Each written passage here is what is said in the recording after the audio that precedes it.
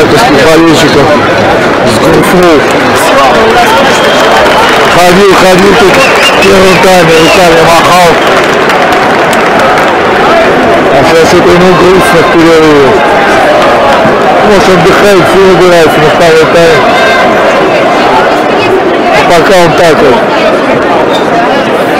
Социальную дистанцию все соблюдает, сидит.